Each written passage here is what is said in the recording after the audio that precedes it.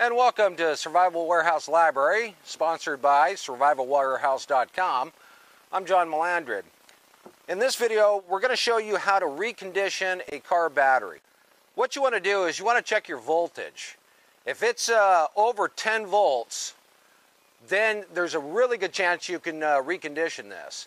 If of course it's at 12 volts and it just barely can start your vehicle, it's not holding the charge, 99% of the time this is going to work and it's not going to hurt your battery.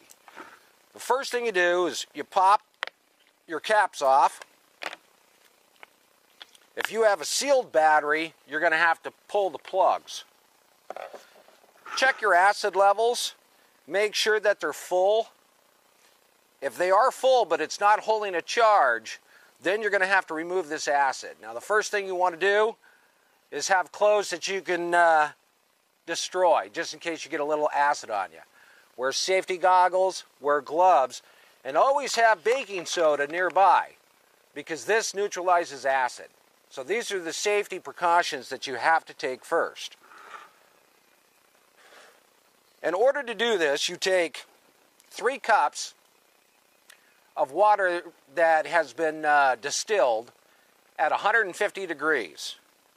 Then you add one cup of Epsom salt. You can buy this at your general store. You pour in approximately one cup.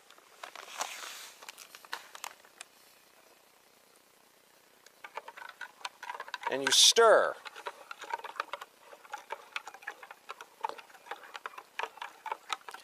Now while the Epsom salt is dissolving and this is cooling down, it's time to take the acid out of your battery. Very carefully lift it up, hold it away, and pour the acid out.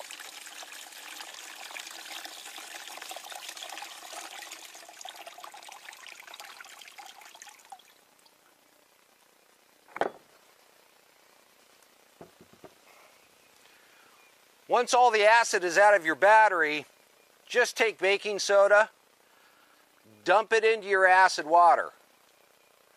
That will neutralize it, and that way you can dispose of this safely.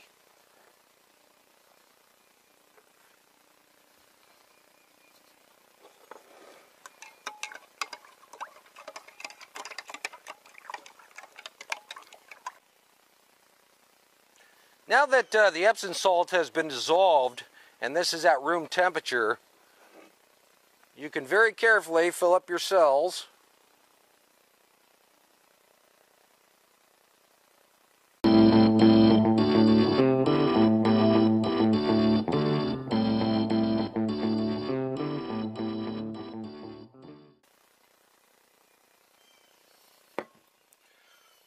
Once it's completely filled, wipe off your excess.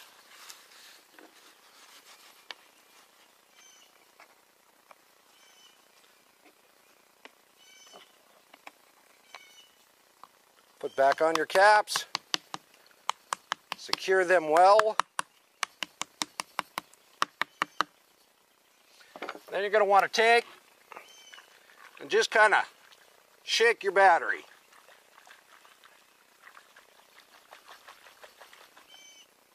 So now that it's all been shaken, made sure everything has been coated in there, you want to take and put this on a 12 volt, 2 amp trickle charge.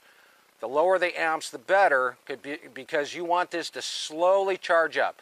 This will take approximately 24 to 36 hours to do.